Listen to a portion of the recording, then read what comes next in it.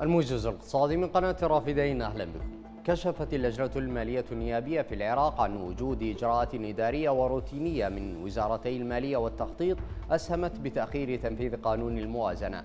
وقالت اللجنة إن تأخيرا متعمدا في استكمال تعليمات قانون الموازنة من قبل وزارتي المالية والتخطيط أسهم بتأخير تنفيذ قانون الموازنة في الوزارات ومؤسسات الدولة مضيفة أن اللجنة طالبت الوزارتين بالإسراع في نشر تعليمات الموازنة.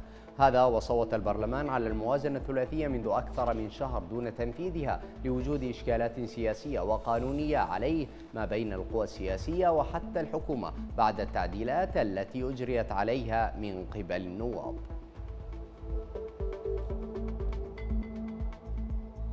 قالت شركة جنال الإنرجي النفطية إن تعليق صادرات النفط من كردستان العراق تسبب بتراجع إنتاجها وذلك لعدم صرف مستحقاتها من قبل حكومة أربيل مبينة أنها ستخسر 170 مليون دولار بنهاية العام الحالي. وقالت الشركة إن إغلاق خط الأنابيب لتصدير النفط من كردستان العراق في الخامس والعشرين من شهر آذار من هذا العام تسبب في انخفاض حجم مبيعات الشركة إلى الحد الأدنى وعدم دفع المستحقات المالية من قبل حكومة كردستان العراق. وأضافت الشركة أن توقف صادرات النفط من كردستان العراق تسبب في انخفاض متوسط إنتاج الشركة من النفط في الأشهر الستة الأولى من العام الحالي إلى 13440 ألف برميل. أكد رئيس اتحاد الغرف والبورصات التركي رفعت حصار تشكلي أوغلو إن مصر تعتبر أكبر شريك تجاري لتركيا في قارة أفريقيا. وأوضح حصار شكلي أوغلو أن مصر تضم 200 شركة تركية هناك منها 40 كبيرة توفر فرص عمل وتقوم بالتصدير مشيرا إلى أن حجم التجارة المتبادلة بين البلدين عام 2022 وصل إلى 10 مليارات دولار.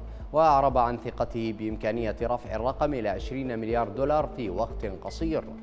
وذكر الوزير التركي أن رحلات النقل البحر بين مرسين الإسكندرية وإسكندرون دمياط سهلت التجارة الثنائية والقيام بالأنشطة التجارية مع دول ثالثة.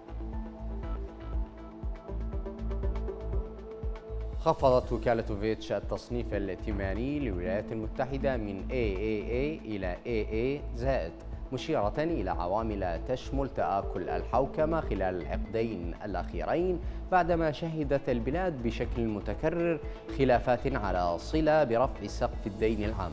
وأوضحت الوكالة أن خفض التصنيف الائتماني للولايات المتحدة يعكس التدهور المتوقع المالية العامة خلال السنوات الثلاث المقبلة والعبء المرتفع والمتزايد للدين العام الحكومي وتآكل الحوكمة. وفي عام 2011 دفع مأزق رفع سقف الدين العام وكالة S&P إلى خفض التصنيف الائتماني للولايات المتحدة من AAA إلى AA زائد. ما أثار استياء في صفوف الحزبين الجمهوري والديمقراطي.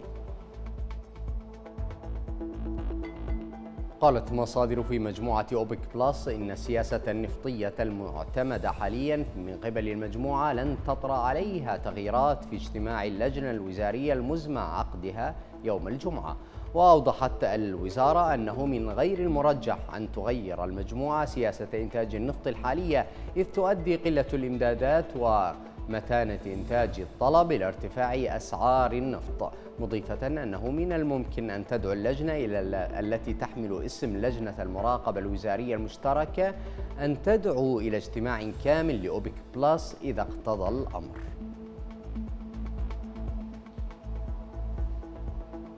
والآن مع أسعار العملات الأجنبية وأسعار المعادن.